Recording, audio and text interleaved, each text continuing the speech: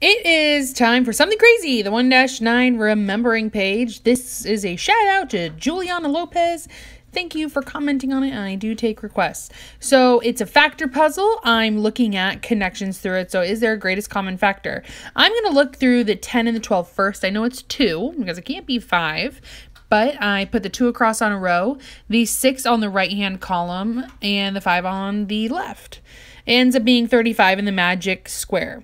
This time I can either choose 40 and 15, and I'm going to go with that one. I know it's 5. It's either going to have to be 5 or 10 to uh, accommodate the 40, or 20, I guess. Um, so 5 is their greatest common factor. And 5 multiplied by 3 gives me 18. 3 is the column. 3 multiplied by 6 is 18, gives me the row of 6. And then I catch myself, I'm like, oh, wait, no, I could totally turn that 0 into an 8. Mm, 6 multiplied by 8 is 48. I got too excited. Okay, this time either 36 or 63 or 36 and 32. Looking at 36 and 63, I know the greatest common factor is 9. They're both, um, you add the digits together, they make 9. Uh, so I have four, a column on the left of four, and a column on the right is seven. Four multiplied by eight gives me 32, uh, eight for a row. Eight multiplied by seven is 56. This time I'm going to fill out a uh, ratio table and then I will draw a graph. So I notice there's a pattern, one, two, three, four on the number of pounds. And I'm also looking at three multiplied by something gave me six, four multiplied by something gave me eight, and it's going to be 2. 3 multiplied by 2 gave me 6.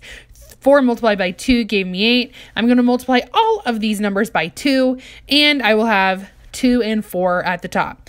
I am just really picky about graphs, so I like to have the x and y axis labeled. Um, if you don't, it's really hard to say what you're actually measuring, and it's a really good, good idea to get in the habit of it. So my X and my Y, and right now I'm going to really work on, like I'm making a promise right now, putting it into the universe.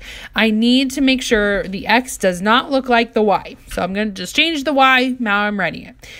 They always start at zero. That's origin. Um, you'll hear that a lot throughout the book and my x comes first. I go across horizontal first. In this case, I'm going to go over 1 and up 2. 2 is my y. My next ones are 2 and 4. So I'm going to go over 2 and up 4. My next one, I'm going to go 3 over 6, over 3 and up 6. And of course, I'm going to go over 4 and up 8. I connect these, um, starting with... Uh, the origin, or if you have a ruler, you can go all the way up. Either way, um, they all come through zero. That's just something you get in the habit of thinking about. And then things get totally cuckoo crazy for Cocoa Puffs uh, when we include all four um, quadrants of the of a coordinate plane. Ah, it's really exciting. It's towards the end of the units um, that we have together, probably like in May. So this time we're representing a situation with an equation. Sometimes writing an equation can be intimidating. So section A in the stadium has 30 rows of seats with 20 seats in each row. Section B has four times as many seats as section A. How many seats are in section B? So I can use parentheses if I'm going to write an equation, but I'm going to pick a variable to stand for what I'm looking for. N. N is that the number of seats inside section B. So n is equal to something, right? So I could model this. I could draw 30 I could draw 30 rows with 20 seats in them, and I could easily count that all up for the sake of time. Um, and I don't think you guys really want to like watch me do that. So I could draw, you know, 30 rows, 20 seats in them. That's a way to model math. Modeling math uh, will set you apart from someone who's just, you know, a human calculator. Modeling math is a good strategy to have. I'm going to put those in parentheses because section B has four times as many seats. That in itself gave me the clue, hey, I'm going to be multiplying. So I'm going to multiply 30 by 20, and then I will take that and multiply that product by 4.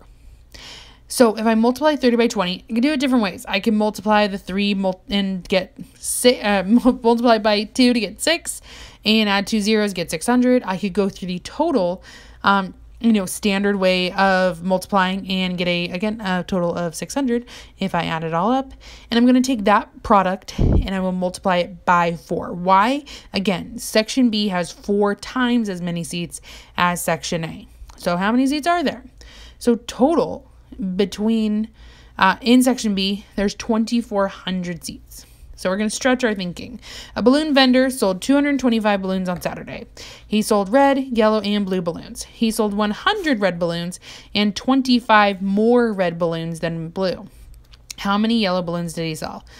Oh man, I'm not going to be able to draw a picture of this that would fit on this piece of paper, but I do know I'm going to start with 225. Why? That's my total balloons. I already have my sum, or um, as we will find out, I do use more, um, more than one, um, more than one operation. So I have my 100 and I'm going to subtract, um, and I'm going to have my 100 and I will add that to the difference of 100 and minus 25. Now, that 100 is the red balloons.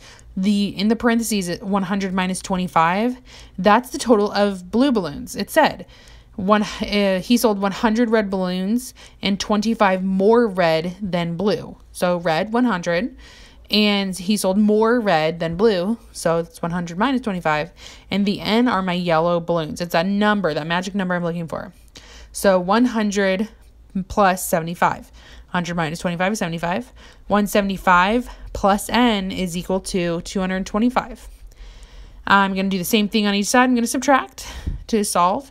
225 minus 175 is equal to dun, dun, dun, 50. He sold 50 yellow balloons. So if I add